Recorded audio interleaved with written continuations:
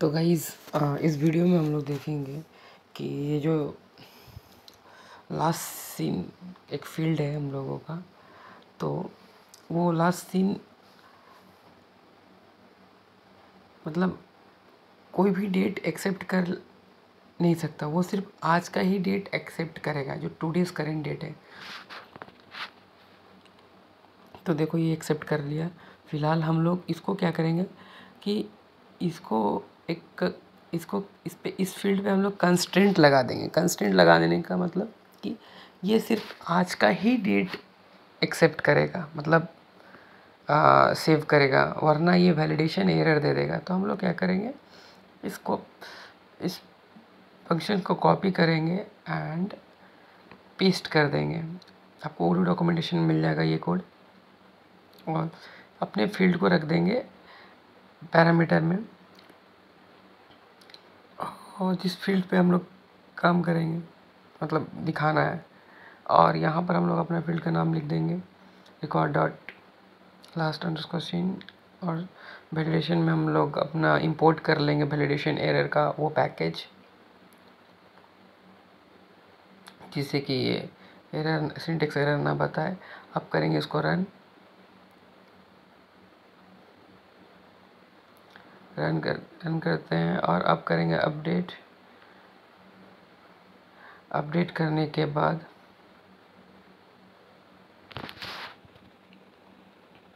Check करेंगे। Okay all में जाना पड़ेगा उन लोगों को। हम लोग अकाउंटिंग में बोल कर ऐसा आ रहा है तो ऑल में क्लिक करेंगे तो दिखा जाएगा।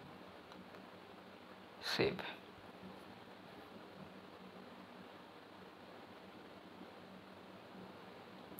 तो गाइस देखते हैं क्या है। क्रिएट किए हैं। अब करेंगे तो ये गाइस अब हम लोग इसको सेव करते हैं। तो क्या ही काम कर रहा है? नहीं एरर आ रहा है। तो गाइस अब देखेंगे हम लोग यहाँ पर ब्रेडेशन एरर ये एरर आ रहा है इसलिए क्योंकि हम लोग डेट टाइम फ़ील्ड यूज़ करें। तो हम लोग उसको चेंज करके डेट कर देंगे, जिससे कि हम लोग आसानी से ये फ़ंक्शंस को रन कर लें, फ़िलहाल अभी के लिए।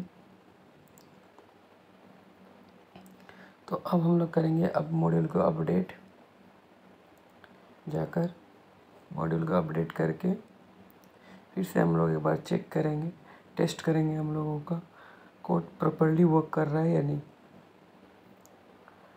तो गाइस अब चलते हैं हम लोग टेस्ट के अंदर में क्रिएट करते हैं नया। लिया। और ये। जैसे ही सेव करने जाएँगे, एक वैलिडेशन एरर दे देगा। तो अब हम लोगों को करेंट डेट इस पर ही एक्सेप्ट करेगा ये फॉर्म सेव हो गया। तो गाइस इसी तरह बने रहें इस चैनल पे और शेयर करें सब्सक्राइब करें।